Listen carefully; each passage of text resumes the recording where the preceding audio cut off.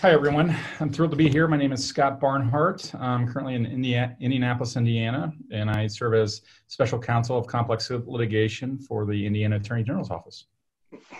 Good afternoon. Uh, my name is Dan Wong. I am a retired attorney and former judge. I'm also on the National Board of Directors for the Center for Civic Education. I live in Boise, Idaho, and I'm very happy to be here and to see you. My name is Myron Yoder. I'm the chairman of the Professional Standards and Practices Commission for the Commonwealth of Pennsylvania. And I'm a 37 year educator from the Allentown School District where I taught we the people. And glad to be a part of it still. And you all are? Hi, I'm Evelyn Napier. I'm Trinity Lee. And I'm Declan Atkins. All right. Well, we have selected question number one. I will read it and give you time for your opening statement. In 1963, Dr. Martin Luther King Jr. said, Never in history of this nation have so many people been arrested for the cause of freedom and human dignity. What lessons can be learned from the Children's March in Birmingham, Alabama? What is civic engagement? And what is its significance in American history? What responsibilities, if any, do schools have to promote civic engagement? You may begin.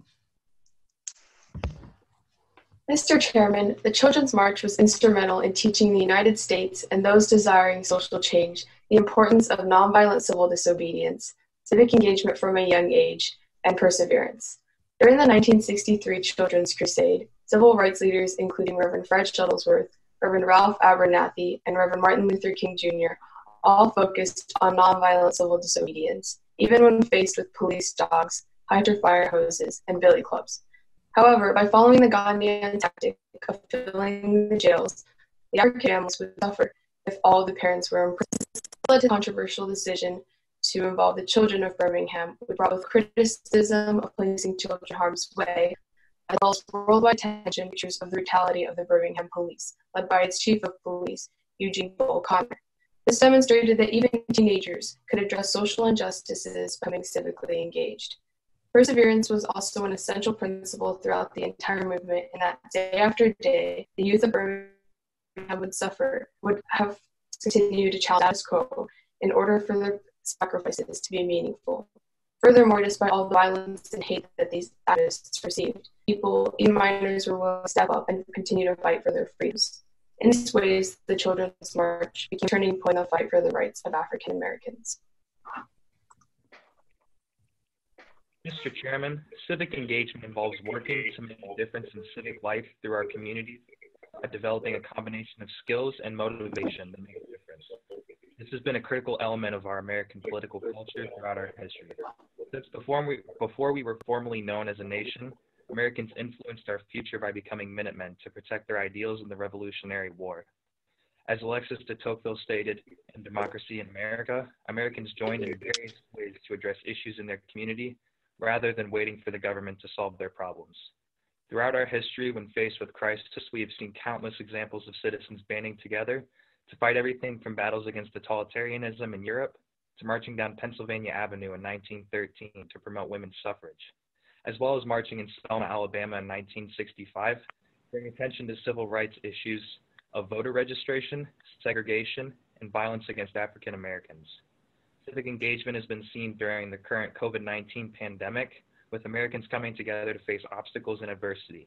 From current and retired doctors and nurses fighting together on the front lines in hospitals, to those of us who are staying at home, social distancing to slow the spread of the virus. Mr. Chairman, because an engaged citizenry is instrumental in the success of a representative democracy, schools from preschool to graduate school have a responsibility to promote civic engagement in order to aid in creating informed citizens who can engage in civil discourse, deliberate effectively, and are committed to working towards the common good. Schools play a significant role in a student's understanding of what civic engagement is and the role students can play. A 2018 study by the Center of American Progress found that states that prioritize civic engagement in their schools have a higher percentage of civic have a higher percentage of civic participation. However, only nine states and the District of Columbia require a full year of government and civic classes. 31 states require a semester, and 10 states have no requirement. Research has shown that involving students in firsthand experiences leads to an increased civic participation, as seen in programs such as Colorado's Judicially Speaking program, which exposes students to the thinking process used in most judicial settings. In addition, programs such as Mock Trial, Project Citizen, and We the People have shown both higher scores on standardized tests and a greater degree of student engagement and efficacy. So thank you. Thank you for that. One of the questions that we've been kind of struggling with is what is the common good? And can the common good differ from state to state or country to country or region to region for that matter? I think that the common good is kind of a focus. It's almost an abstract thought because there's going to be no definition of the common good because it's going to change from society to society but it's a focus of wanting to improve the environment you're in and require equal opportunity for everyone. And I think it will differ from country to country. I also think there's not really a set definition for it, but it really depends on each country's circumstance and each society and community circumstance because not everyone has as advanced as each other. So there are certain places the common there may not be the common good in another place because they just haven't gotten to that place of advancement yet. So you mentioned during your four-minute presentation that uh, that Americans have come together to face the COVID-19 pandemic, but there are in fact protesters against the governor's stay-at-home orders, and I'm asking you: Are these protesters acting in an appropriate or inappropriate civic engagement? Be specific.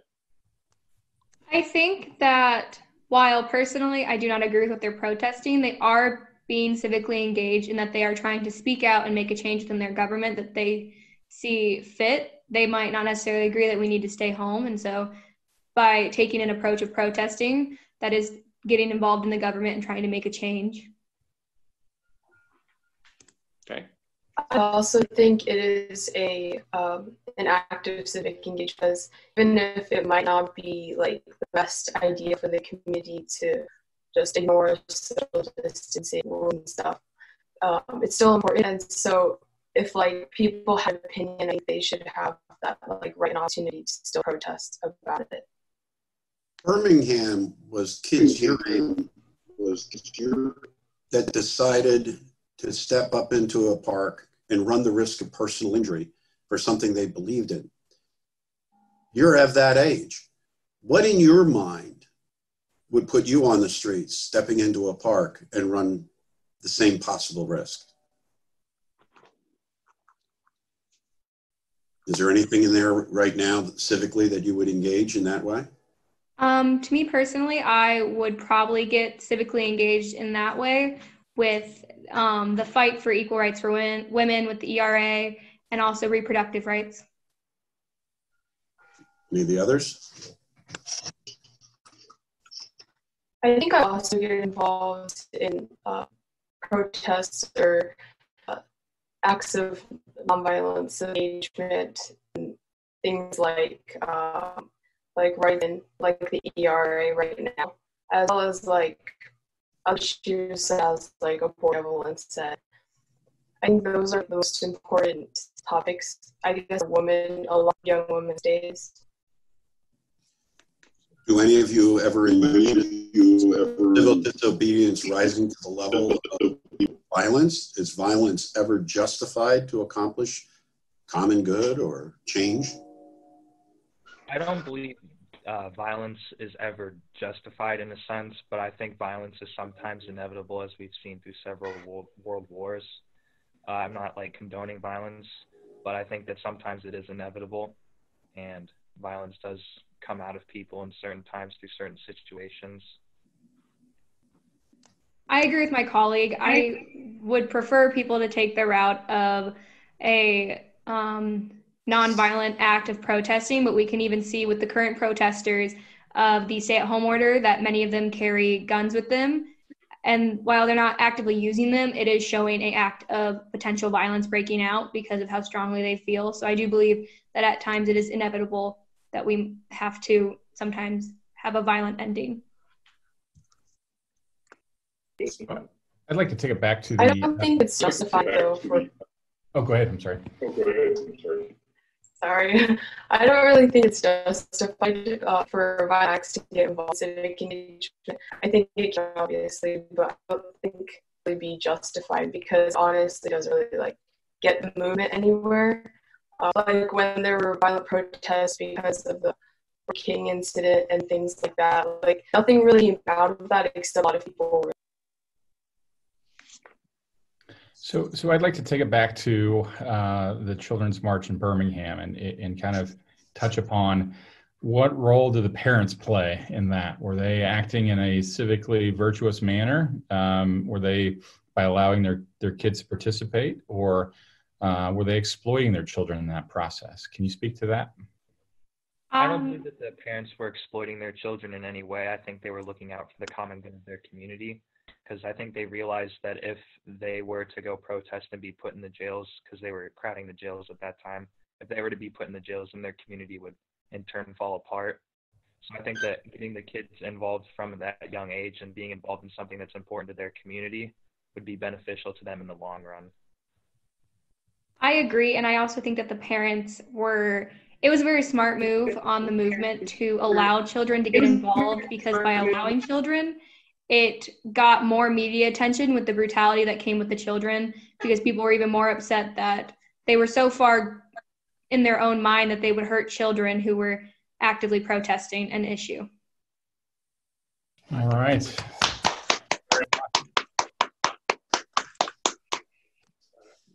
So I get a few comments for, for feedback. Um, certainly appreciated your uh, your presentations and, and I particularly appreciated your your thoughtful response on a, you know the uh, the question uh, to the question of you know what would it take for you to participate in in being hosed or in, in vicious dogs and the like. So thank you for your answer on that. Um, I also appreciate you incorporating you know, from a civic engagement standpoint, things like this program and, and mock trial and Project Citizen, it's, it's clear that you've done your research. So nicely done. I'll certainly echo that. In fact, I wanted to say, obviously, uh, I I've been involved in lots of uh, uh, mock trial, Project Citizen, We the People, and we're happy that you are in fact participating in this, and we hope to continue it uh, even with our financial issues that come with this COVID-19 pandemic. I did enjoy your four-minute presentation, and I particularly liked your your your discussion regarding the importance of of schools and and um, having students participate in, in civic enga- engagement. I, if I had the opportunity, would ask you more questions about what more can the schools do, but unfortunately, we are limited by time. I did enjoy your presentation. I'm happy to see you, and I'm happy to be able to uh, participate and listen to your knowledge. Thank you. I'd like to mirror as well. I thoroughly enjoyed your, your conversation with us. Um, I found it interesting. If I had a chance to take it a little bit further, I was trying to get you to the, the Declaration of Independence in 1776, protests that eventually led to a revolution. And you even brought up Minuteman at one part, the notion of the Minuteman at one point. So I thoroughly enjoyed it. You did a wonderful job. Uh, thanks to your teacher for organizing this and making it go. And to all those parents that might be hidden behind the computer or behind closed doors or listening through the door jab, um, thank you for the support of your students. You did a wonderful job. Thank you very Thank much. you.